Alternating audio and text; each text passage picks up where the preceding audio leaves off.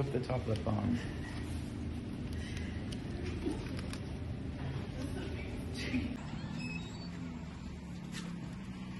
Just got Tweedy's, guys.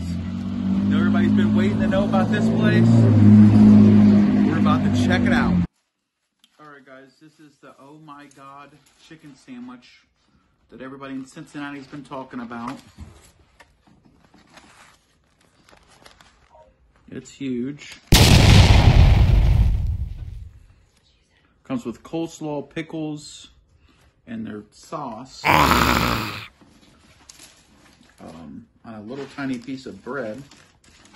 So, I mean, this thing is could feed a bunch of homeless people.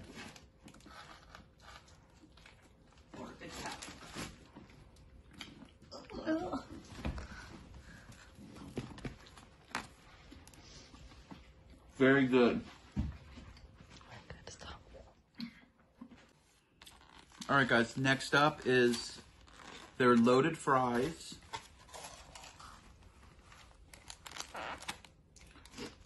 They have ranch, bacon, and they look like those crispy fries.